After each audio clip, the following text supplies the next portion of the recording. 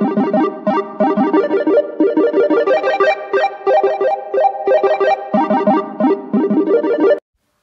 guys, welcome back to another video. So, I'm just walking up the highway right now and there's a Porsche.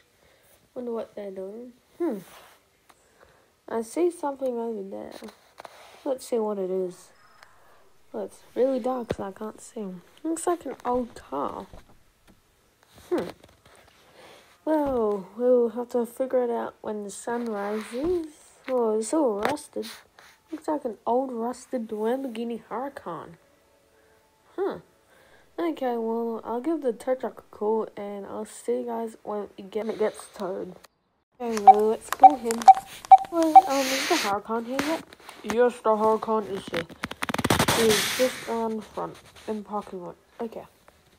Well, guys, here is the old and rusted Lamborghini Huracan. Well, it seems to have the missing logo is has a lot of rust. Surprised about the door opens. Interior is completely fine. Rear bumper looks like it got ripped off. Exhausts are fine, I'm surprised. Well, let's see if it's let's see if she starts up. Let's get in. Okay. Well she starts up. Okay, well, let's get her into the shop so we can get all this rust off and get this baby um all customized. So let's drive into here because the doors we don't it on that. Okay.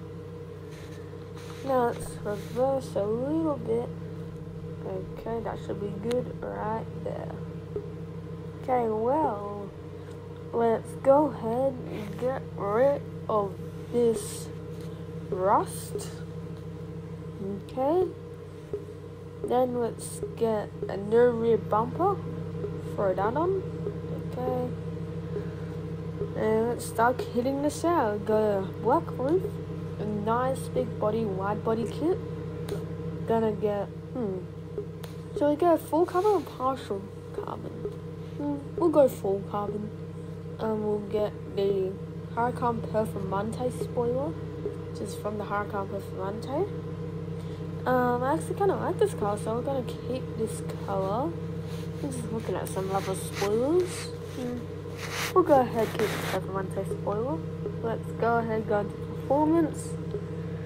Let's get a twin turbocharger twin turbo, right? Get a race engine, and yeah, well, that's it for the Huracan today, guys. Um, hope you guys enjoyed today's video, and I also hope you guys um like my Huracan.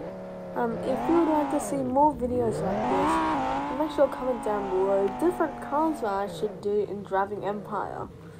Um, anyways, thank you guys for watching. Make sure to like and subscribe for a Parents Free Cookie. And yeah, if you guys enjoyed, see you guys in the next one. See you guys, bye!